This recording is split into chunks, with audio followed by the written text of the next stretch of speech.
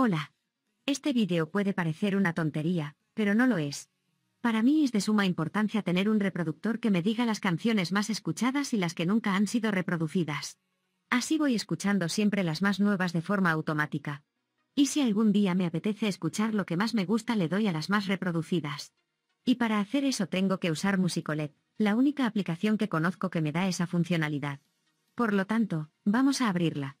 En la descripción del vídeo te dejo un enlace. Por si quieres instalar esta aplicación.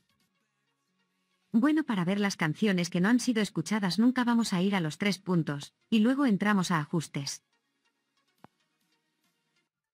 Entramos a ajustes porque primero es conveniente establecer el tiempo que nos guste para que Musicolet entienda que una canción ha sido reproducida. Opciones avanzadas. Duración mínima para considerar una reproducción. Escogemos la duración mínima que nos guste, en mi caso con un 10% es suficiente. Ahora sí vamos a poner una lista de reproducción ya, con la música nunca reproducida. Vamos atrás.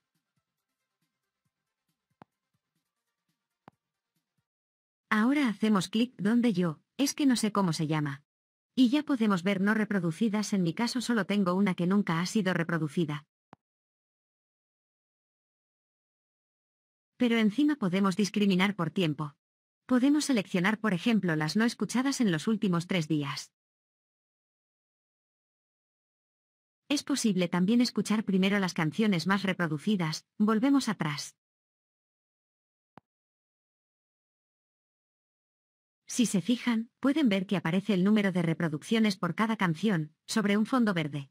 También es posible, poner las canciones más reproducidas en un periodo de tiempo. Aunque para algunos periodos necesitamos la versión premium. Vale muy poco y un solo pago, merece la pena. Otra opción para ver las más reproducidas, o menos, en este caso de cualquier álbum, carpeta, lista de reproducción o alguna selección de música que tengamos, es, ir a la lista de canciones, el lugar donde vemos en esta aplicación la música que tenemos cargada para escuchar y entrar a las opciones de ordenamiento. Bajamos todo y encontraremos las opciones para ordenar por número de reproducciones.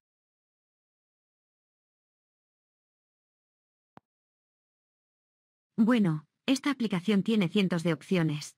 Iremos haciendo vídeos. Muchas gracias por el apoyo. Un saludo.